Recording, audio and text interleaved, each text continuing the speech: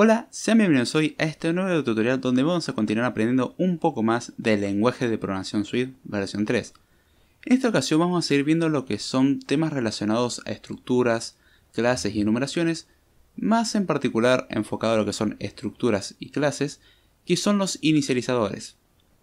Hasta ahora cuando nosotros creamos una clase o una estructura, Podíamos tener datos almacenados como ser enteros, strings, o guardábamos cosas en lo que eran variables y constantes que lo conocemos como propiedades en ese caso, las propiedades almacenadas.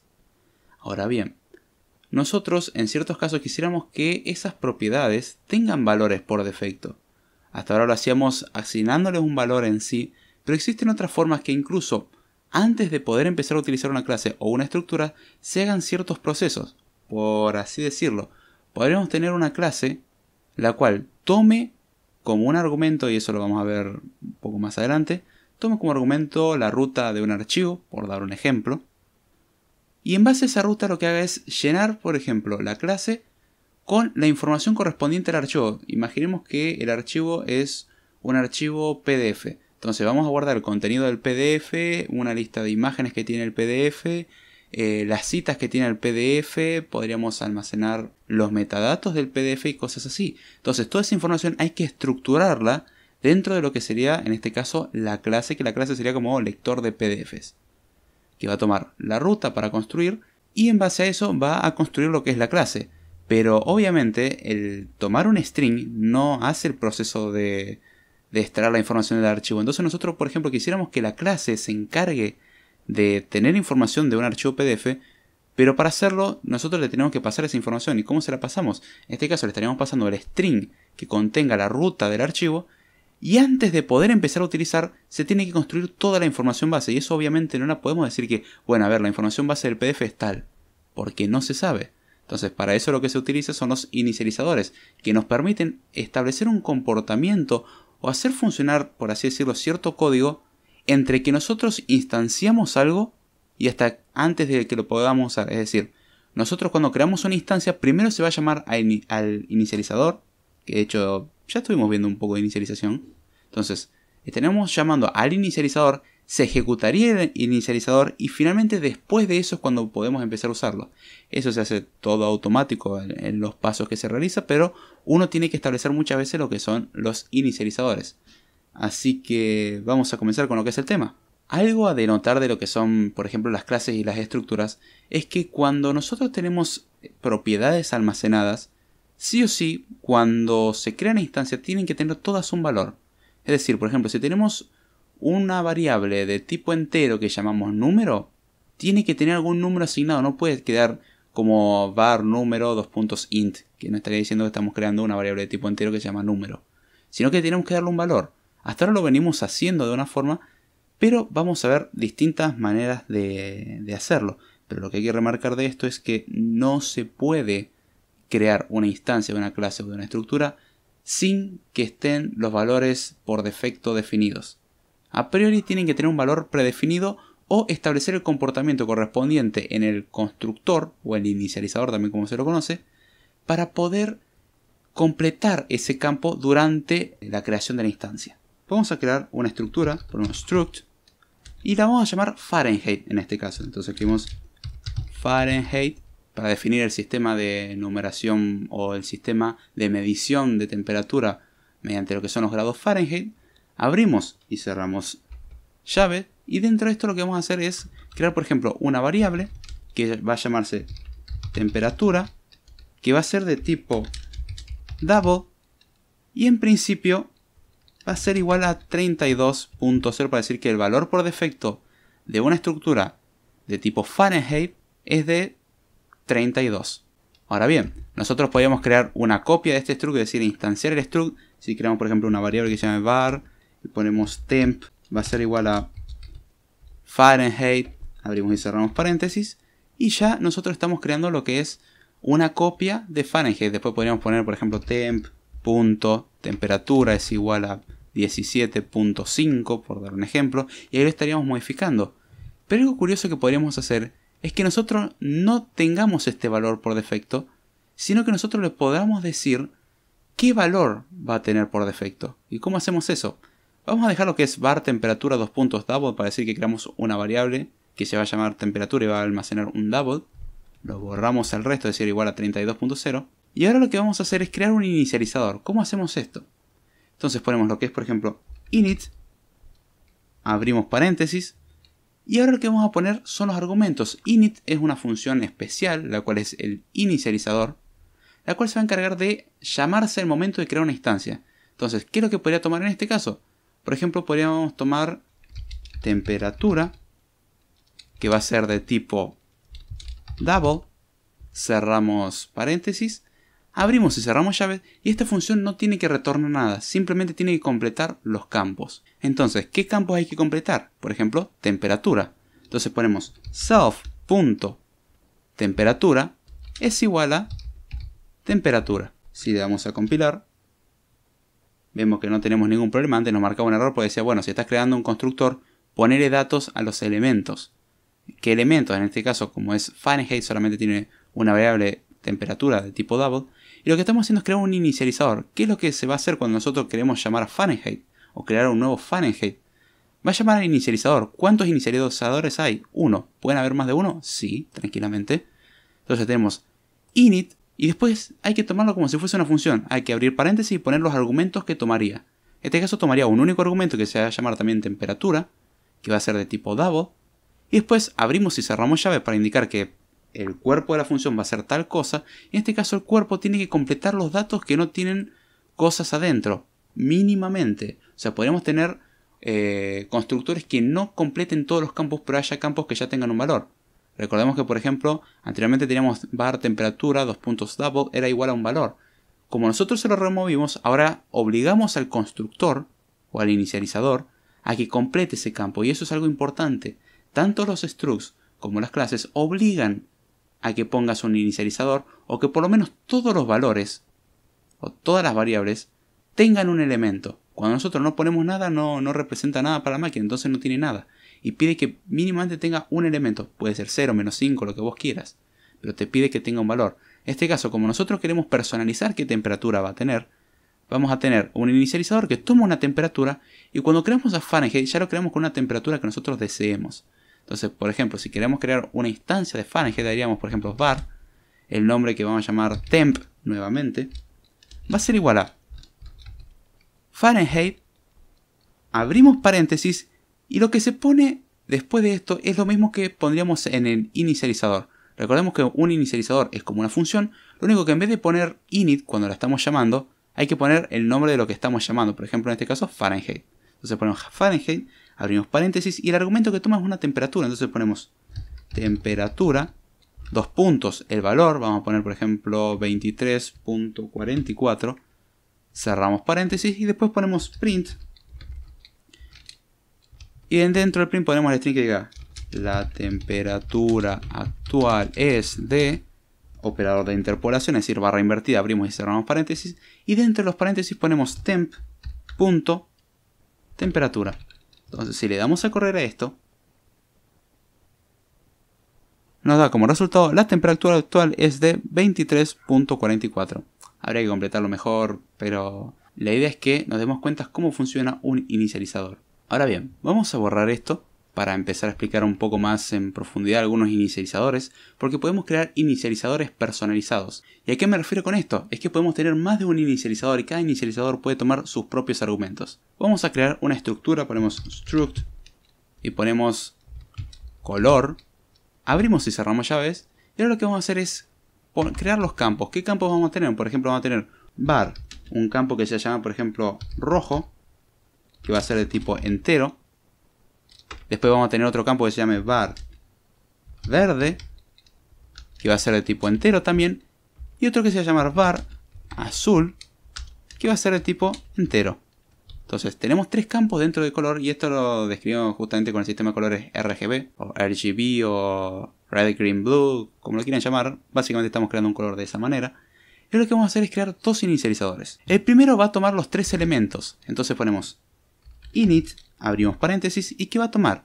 Va a tomar un valor de tipo rojo, que va a ser de tipo entero, uno verde, que va a ser de tipo entero, coma, y un azul, que va a ser de tipo entero. Cerramos paréntesis, abrimos y cerramos llaves y ahora solamente tendríamos que completar lo que son los colores. Entonces ponemos self.rojo es igual a rojo.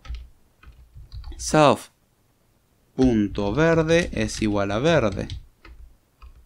Self.azul es igual a azul. Entonces, ya tenemos un inicializador que toma esos tres elementos, pero por ejemplo podríamos querer otro inicializador que tome un solo elemento. ¿Cómo haríamos este inicializador? Después del inicializador, tal cual definimos este, podemos definir otro tranquilamente. Ponemos init, abrimos paréntesis y en este caso va a tomar un solo argumento que lo vamos a llamar blanco, que va a ser de tipo entero, cerramos paréntesis, abrimos y cerramos llave y dentro de esto ya podemos trabajar. Acá nos está marcando que tenemos un error porque nos dice que no pusimos valores a lo que es rojo, verde y azul dentro del inicializador segundo. Entonces lo que hacemos es poner, en este caso, self.rojo es igual a blanco. Self.verde es igual a blanco. Y self.azul es igual a blanco. Entonces, ¿qué hicimos acá? tenemos dos inicializadores distintos que van a trabajar de manera diferente, pero ambos van a poder crear lo que es una instancia del struct color. Entonces, ahí es donde está el chiste que podemos empezar a trabajar con esto y crear distintos tipos de inicializadores. Y en base a la información que nosotros tengamos, podemos crear el mismo componente, pero con distinta información. Entonces, ¿cómo podemos crear dos instancias diferentes? Podríamos hacer una que se llame var, después de lo que es la creación del struct. Ponemos var. Ponemos color 1 es igual a color, abrimos paréntesis, ponemos rojo, dos puntos, por ejemplo en rojo ponemos 25, coma verde, dos puntos 25, coma azul, dos puntos 25, cerramos paréntesis y podríamos crear otro y diríamos var color 2 es igual a color, abrimos paréntesis, pero ahora vamos a llamar al segundo inicializador, al que tome solamente un blanco. Entonces ponemos blanco, dos puntos y ponemos por ejemplo 25. Y cerramos paréntesis. Ahora bien, ¿qué valores van a tener el rojo, el verde y el azul en color 1? 25, 25 y 25 respectivamente. Ahora bien, si lo inicializamos con blanco va a tener 25 en los tres. Con lo cual la información dentro de lo que es la instancia de cada instancia del struct es exactamente igual. Entonces ahí es donde está lo curioso de poder crear distintas estructuras, obviamente. Después podríamos llamar, qué sé yo, color 2 punto azul es igual a 255, por decir así. Pero podríamos hacerlo, pero no lo vamos a hacer. La idea es que, eso ya lo saben. y la otra idea es que podemos crear distintos inicializadores que va a tomar distinta información. Eso es importante, tiene que tomar distinta información, no puede ser exactamente igual. Es muy difícil ya que podríamos tener cosas que tome algo de tipo, por ejemplo, podríamos tener un constructor que tome doubles y nosotros los convertamos a enteros. Entonces con eso ya nos quitaríamos el tema de tener que convertir los doubles a enteros cada vez que queremos crear una instancia, sino que le pasamos, creamos un constructor que tome, por ejemplo, rojo, verde y azul en double en vez de en entero, y después lo convierte en entero internamente y almacena cada valor y cosas así.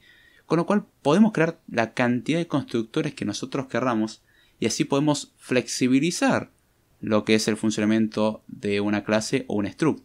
Hasta ahora estábamos obligados a crear instancias y en base a eso después empezar a llenar con información. En este caso podremos llenarla con información mientras se está creando. Entonces ya podríamos tener la información necesaria para que se procese, se procesa todo, creamos elementos completos que tengan todo lo que necesitamos y en base al elemento ya construido y completo podemos empezar a hacer cosas. Algo que podríamos querer hacer, por ejemplo, y eso lo podríamos hacer también en las funciones, es tomar argumentos sin ponerle etiqueta. ¿Cómo hacemos eso?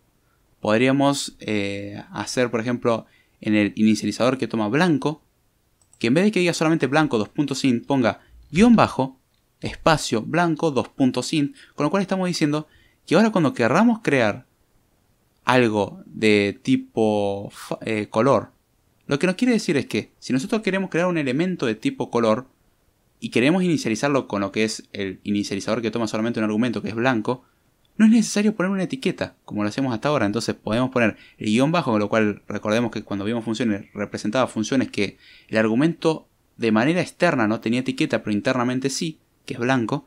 Entonces cuando inicializamos con un solo valor, podemos borrar lo que dice blanco 2.25 en el inicializador y diríamos, por ejemplo, var color 2 es igual a color, abrimos paréntesis 25, cerramos paréntesis, con lo cual estaríamos diciendo, bien, creamos un color que en los tres campos va a tener 25. Y así es como podemos hacer estas cosas. ¿Es recomendable o no usar este recurso? Depende. Si queda claro a qué se refiere con que no tome argumentos, sí, tranquilamente. O mejor dicho, que no tenga etiquetas. En cambio, si tenemos por ejemplo el rojo, verde y azul, podríamos hacer que no tenga las etiquetas. Pero sería una mezcla medio rara y no sabríamos eh, con y no sabríamos cómo crear algo nuevo. En este caso ponemos rojo, verde y azul, sabemos en qué orden está, pero si no sabemos el orden del RGB, supongamos que no sabemos qué significa RGB, no sabemos inglés y no sabemos que el color está codificado bajo RGB. Toma tres enteros. ¿Y bajo qué sistema trabajamos? Toma cuatro enteros porque existe el RGB y alfa. Alfa es el canal de transparencias. Entonces, eh, podríamos tener en el caso que tomes cuatro, pero hay otro sistema que toma cian, magenta, amarillo y negro. ¿Y, cuál estaríamos usando en el caso que tome los cuatro argumentos? Para eso se ponen lo que son las etiquetas para esclarecer un poco el asunto. Entonces, teniendo todo esto entendido, vamos a borrar lo que escribimos hasta ahora, porque no vamos a volver a usar el ejemplo de color. Y vamos a crear otra estructura. vamos a ir creando estructura y clases. Pero para ir viendo distintos tipos de inicializadores. Creamos un struct que se va a llamar Celsius abrimos y cerramos llaves y dentro de esto vamos a crear por ejemplo una variable que se va a llamar temperatura en C para decir temperatura en Celsius que va a ser de tipo double y en principio no va a tener ningún valor entonces vamos a crear inicializadores que van a tener en este caso doble etiqueta es decir una externa y una interna con la cual vamos a poder crear esto vamos a crear el primer inicializador entonces ponemos init abrimos paréntesis y vamos a hacer que este tome números pero que representen temperaturas en grados Fahrenheit. Entonces ponemos desde Fahrenheit ponemos un espacio, ponemos Fahrenheit para decir que estamos tomando eso como etiqueta interna, dos puntos, toma algo de tipo double, cerramos paréntesis, Abrimos y cerramos llave e internamente vamos a poner, por ejemplo, temperatura en C es igual a, abrimos paréntesis, Fahrenheit menos 32.0, cerramos paréntesis y ponemos dividido 1.8. Esa es la fórmula para convertir de grados Fahrenheit a grados centígrados, o mejor dicho, grados Celsius, terminología correcta. Y ahora vamos a crear otro inicializador, ponemos init, abrimos paréntesis, ponemos desde Kelvin, espacio Kelvin, para decir que estamos tomando 2 grados Kelvin ahora, van a ser de tipo double, cerramos paréntesis, abrimos y cerramos llave, e internamente ponemos temperatura en C es igual a Kelvin menos 273.15. Esa es la fórmula para convertir grados Kelvin a grados Fahrenheit. Esa es la otra fórmula. Y podríamos crear otro inicializador. Ponemos, por ejemplo, otro init. Ponemos init, el cual abrimos paréntesis y va a tomar un argumento, pero va a ser en grados Celsius. Entonces ponemos, ponemos guion bajo, espacio, Celsius, que van a ser de tipo double. Cerramos paréntesis, abrimos y cerramos llave y acá internamente ponemos temperatura en C es igual a Celsius. Entonces tenemos tres inicializadores distintos para crear una instancia de lo que es el struct Celsius, el cual va a tomar una grados en formato Fahrenheit, otra en formato Kelvin y otra en grados Celsius. ¿Cómo llamamos a, por ejemplo, al formato en Kelvin? Ponemos, en este caso, eh, var temperatura es igual a Celsius Abrimos paréntesis y ahora hay que poner contenido de alguno de los constructores. Tenemos tres constructores. Dijimos que íbamos a trabajar con Kelvin. Entonces ponemos desde Kelvin, dos puntos. ¿Y cuánto va a tomar desde Kelvin? Vamos a poner, por ejemplo, vamos a poner lo que son 280 grados Kelvin. Cerramos paréntesis. Y ahora, por ejemplo, si le damos a print, abrimos y cerramos paréntesis. Dentro del print ponemos el string. La temperatura es de... Y ponemos el operador de interpolación. Internamente ponemos temperatura, punto, temperatura en C. Le damos a correr. Y nos da como resultado la temperatura es de 6.85, muchos ceros y 2. En realidad creo que es 6.85, bastante hasta el infinito, pero error de cálculo y redondeo da 2 al final.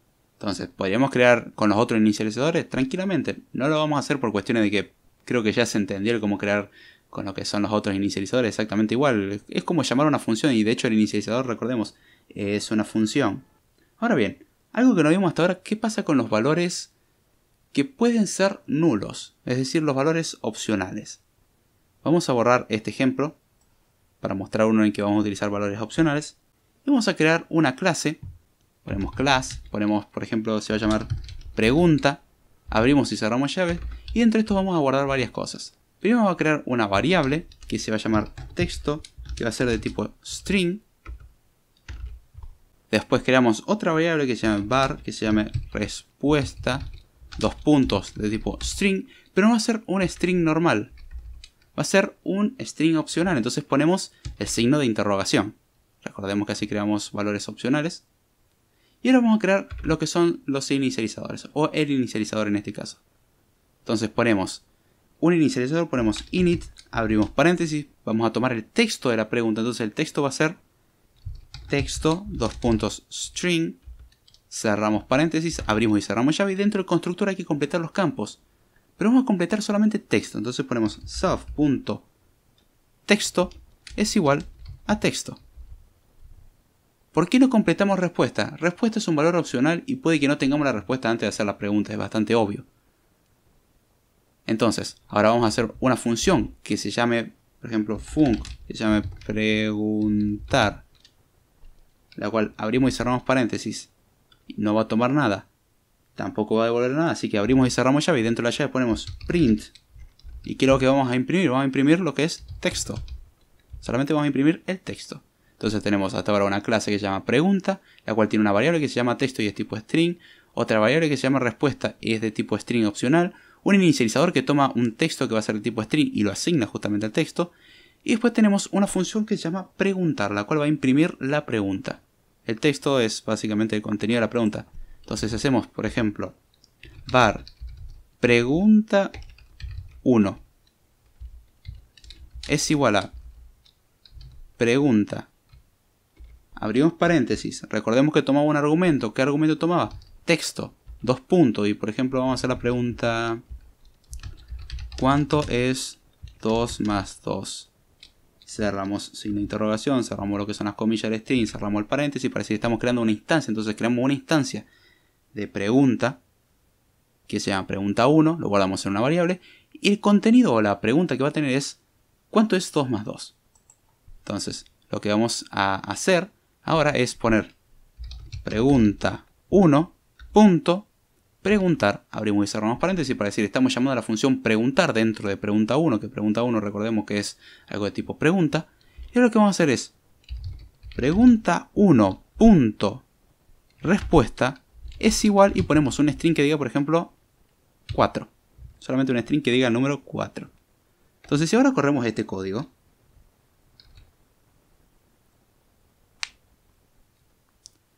nos dice cuánto es 2 más 2 y el programa terminó. ¿Por qué no nos muestra la respuesta? Porque nunca la imprimimos.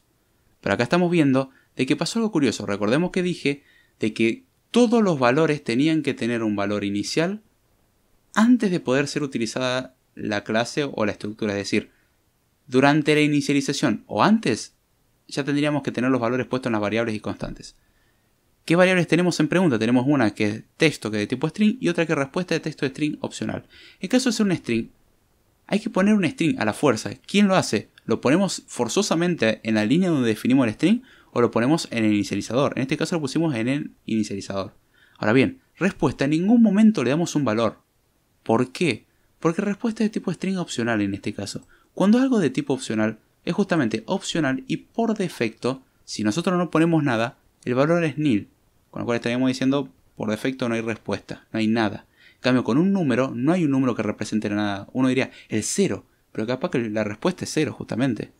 Entonces, ¿cuánto es 2 menos 2? 0.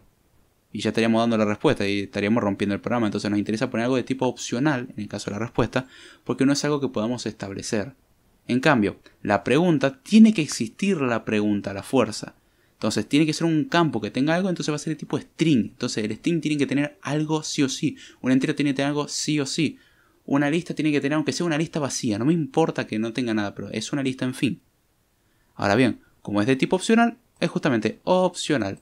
No necesariamente hay que inicializarla y si no la inicializamos recordemos que tiene como valor por defecto nil. Entonces en este caso, cuando creamos pregunta, texto va a valer lo que le pongamos en el constructor y respuesta va a valer nil. Después se va a modificar cuando nosotros le asignamos un valor, pero la idea es que podemos hacer que, distintas variables no tengan elementos mediante lo que es el uso de propiedades opcionales o de tipo opcional. Vamos a borrar todo lo que escribimos hasta ahora y vamos a crear un caso en especial en el que se crean los inicializadores por defecto, porque por defecto Swift en ciertos casos crea inicializadores sin que nosotros lo hagamos. Vamos a hacerlo. Vamos a crear, por ejemplo, clase, class, y vamos a llamar lista de compras. Abrimos y cerramos llaves y creamos tres propiedades almacenadas. La primera va a ser var y la vamos a llamar en este caso nombre, es de tipo string opcional. La segunda va a ser var, que la vamos a llamar cantidad, que es de tipo entero y por defecto es igual a 0, es decir, ponemos var cantidad 2 puntos int igual a 0. Y la tercera va a ser una variable que se va a llamar var, que va a tener como nombre comprado, que va a ser de tipo bool y por defecto va a ser igual a false. Entonces tenemos una clase que llama lista de compra, la cual tiene un nombre, que de tipo string opcional, una cantidad que de tipo entero y por defecto vale 0, una variable que se llama comprado que es de tipo booleano y es igual a false. Y en este caso nosotros no necesitamos crear inicializadores. ¿Por qué? Porque todos los elementos ya tienen valores por defecto. Entonces, ¿cómo inicializamos esto? ¿O cómo instanciamos esto? Ponemos, por ejemplo, una variable var. Ponemos lista es igual a lista de compras. Abrimos y cerramos paréntesis. Pero notemos que en ningún momento pusimos un inicializador y esto lo venimos haciendo de hace mucho. ¿Por qué no hay un inicializador? ¿Por qué no es necesario? Podríamos crear un inicializador que sea, por ejemplo, init, abrimos y cerramos paréntesis, abrimos y cerramos llave y quede ahí. O sea, podríamos dejarlo vacío y que no, no haga nada. Pero es inútil. ¿Para qué escribir código más cuando no es necesario? Entonces podemos borrar ese inicializador. Evitar escribir un inicializador porque Swift, al compilar, dice, bueno, como todos los elementos ya están inicializados, es decir, todo el elemento tiene un valor, en caso de nombre tiene nil, porque es de tipo opcional, cantidad tiene 0 y comprado tiene false, no necesitamos un inicializador, no necesitamos esa función, entonces yo ya lo creo. Entonces a la hora de crear una instancia, simplemente lo llamamos con el nombre del elemento, en este caso de la clase que es lista de compras, abrimos y cerramos paréntesis, con esto estamos diciendo ya estamos creando una instancia, lo mismo que llamar al inicializador que no toma nada. Por último, vamos a ver lo que es la inicialización delegada, que son básicamente formas de crear inicializadores en base a otros inicializadores. Esto vamos a enfocarnos por hoy solamente en lo que son estructuras porque las clases tienen la capacidad de heredar, en cambio las estructuras no pueden heredar. Así que en el caso de las estructuras es más simple, en la clase que viene vamos a ver justamente eh, cómo hacemos con el tema de las clases. Así que en principio vamos a borrar todo esto, era un ejemplo cortito que habíamos visto nomás. Vamos a crear una estructura struct que vamos a llamar tamaño abrimos y cerramos paréntesis y esta es la típica estructura para representar un tamaño entonces ponemos por ejemplo var ancho, dos puntos double, es igual a 0.0. Creamos otra variable var alto, dos puntos double, es igual a 0.0. Es decir, creamos una estructura la cual almacena un tamaño que se basa en un alto y en un ancho, que ambos son de tipo double y por defecto tienen el valor 0. Creamos otra estructura que ponemos struct. Ponemos, por ejemplo, en este caso, punto. Abrimos y cerramos llave y dentro de esto ponemos lo que son dos variables x e y que representan un punto en dos dimensiones, pero vamos a escribirlo en una sola línea. Esto no me acuerdo si lo mencioné anteriormente, pero ¿cómo podemos crear variables del mismo tipo en una sola línea? Ponemos var y ponemos, por ejemplo, el nombre de la variable x, que es igual a 0.0. Hasta ahí estaríamos creando una. Pero si queremos crear otra que también va a ser de tipo double, porque x va a ser de tipo double, lo que va a inferir Swift, ponemos coma y o y es igual a 0.0. Entonces esto es lo mismo que escribir en dos líneas separadas, nada más que lo escribimos en la misma línea. Vamos a crear un tercer elemento, en este caso una estructura. Struct. ¿Cómo la vamos a llamar? rectángulo. Abrimos y cerramos llave. Dentro de esto creamos dos elementos, los cuales van a ser, por ejemplo, uno que es bar, que va a llamarse origen. Y va a ser igual a, en este caso, punto. Abrimos y cerramos paréntesis, lo cual estamos diciendo, créame un punto con las coordenadas por defecto. El punto con las coordenadas por defecto es 0, 0. Después ponemos otra variable, es bar tamaño, que es igual a tamaño. Abrimos y cerramos paréntesis. Y ahora vamos a empezar a crear distintos inicializadores. Vamos a crear el primer inicializador que es init, el cual no va a tomar elementos. Entonces ponemos un paréntesis abierto, un paréntesis cerrado. Abrimos llave y uno diría, bueno, ahora hay que poner que se autocompleten los campos de origen y tamaño. No, no es necesario, porque veamos que cuando nosotros ponemos en este caso origen es igual a punto y tamaño es igual a tamaño, llamando los respectivos inicializadores, ya van a tener un valor por defecto que va a ser, por ejemplo, de tamaño 0 y en el punto 00, es decir, en el origen de coordenadas, con lo cual no habría que completar nada. Entonces, en ese caso, ¿qué haríamos? Podemos cerrar llave, es decir, dejar un inicializador que no haga nada. Pero nos permitiría, en el momento que nosotros queramos crear una instancia de rectángulo, es decir, vamos a crear una instancia que no tome elementos, porque si no ponemos esto no existe el inicializador por defecto. Entonces tenemos esto ahí, vamos a crear otro inicializador, ponemos init, abrimos paréntesis, en este caso va a tomar uno que un elemento que se llame origen, que va a ser de tipo, en este caso, punto, coma, otro que va a ser un elemento llamado tamaño, que va a ser tipo tamaño, cerramos paréntesis, abrimos y cerramos llave y dentro de esto vamos a completar los valores. Entonces ponemos self.origen es igual origen. Self.tamaño es igual a tamaño. No hicimos nada raro hasta ahí, es decir, estamos pasando los valores para guardarlos en lo que es eh, el struct. Vamos a crear un tercer inicializador. Y vamos a crear un tercer inicializador que es un poco más interesante. Ponemos init, abrimos paréntesis, y este va a tomar un centro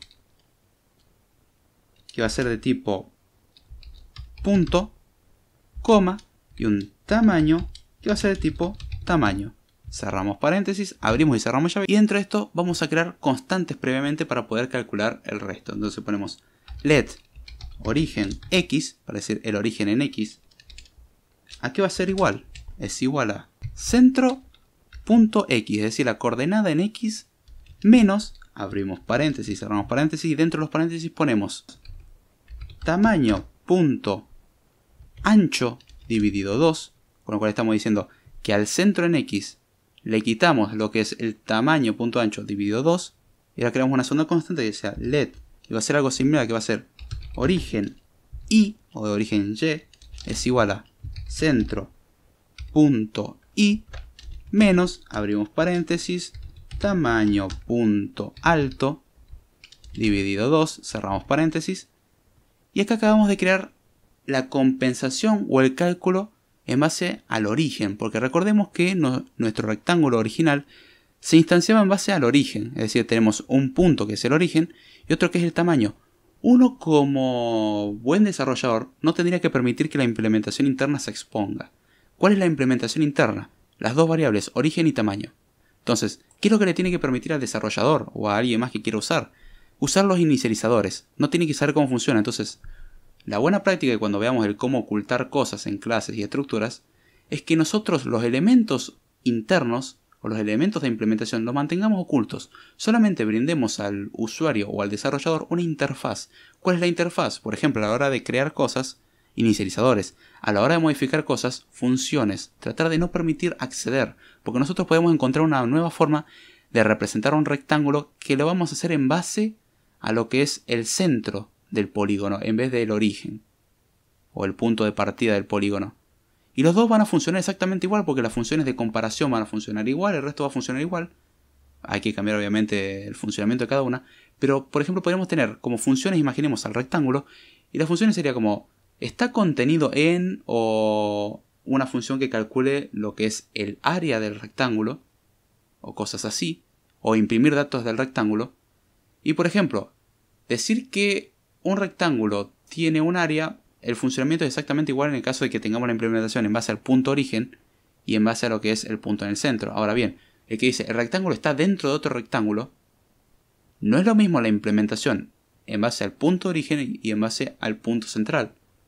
Entonces, obviamente, la función hay que modificarla, pero que lo, que le brinda el desarrollador, lo interesante, es que nosotros no necesitamos decirle al desarrollador que hicimos ese cambio, porque el cambio es interno. Hay que cambiar que todo se adapte y que cumpla los invariantes, pero en sí nosotros le estamos dando al desarrollador herramientas que sabemos que si llamamos a los inicializadores o a las funciones correspondientes, la cosa va a funcionar bien. En cambio, si por alguna razón alguien modifica las variables internas, en este caso no pasaría, pero si alguien modifica las variables internas, todo se podría romper y no hay garantía de nada. Entonces creamos un inicializador que no toma nada, un inicializador que toma el punto de origen y el tamaño que simplemente es asignarlo, y otro que va a tomar un centro, pero va a convertir a un nuevo centro, o mejor dicho, a un nuevo punto, que va a ser el punto de origen, por eso, por eso le ponemos origen en X y origen en Y. Ahora vamos a crear una tercera constante, ponemos let, ponemos punto es igual, y aquí va a ser igual a punto, a punto, algo de tipo punto, abrimos paréntesis y ponemos en este caso x, dos puntos, y ¿qué vamos a poner?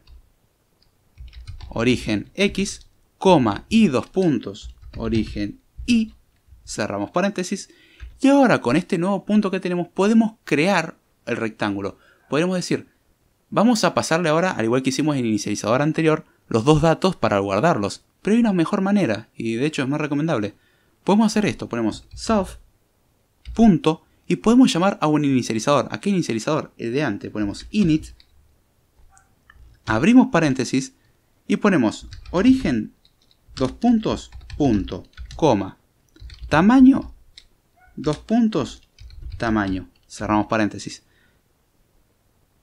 ¿Y qué acabamos de hacer? Es, en base a un constructor preexistente, es decir, a que calcula el rectángulo en base al punto de origen y el tamaño, creamos otro constructor, el cual toma un centro y un tamaño, calcula la compensación para crear el punto de origen, es decir, lo que hace el inicializador en las primeras tres líneas es crear constantes que van a almacenar la coordenada con respecto al x, la coordenada con respecto a y, y el punto en sí que contengan esas dos coordenadas, para poder crear un nuevo rectángulo en base al punto de origen, con lo cual en la cuarta línea ponemos self.init, con lo cual estamos diciendo, llamar al inicializador de esto, es decir, a un inicializador de rectángulo. Recordemos que self es la referencia a sí mismo.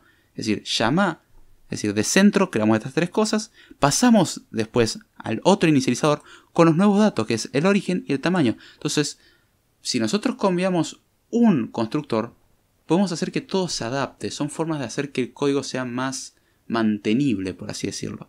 Y eso es lo interesante de la instanciación o la inicialización delegada, es decir, en base a un constructor creamos otros. Tenemos un constructor que no toma nada, un constructor, este constructor que no toma nada podría llamar al constructor que toma origen y tamaño y le pasa los valores por defecto. Es decir, punto y tamaño, podríamos hacer eso.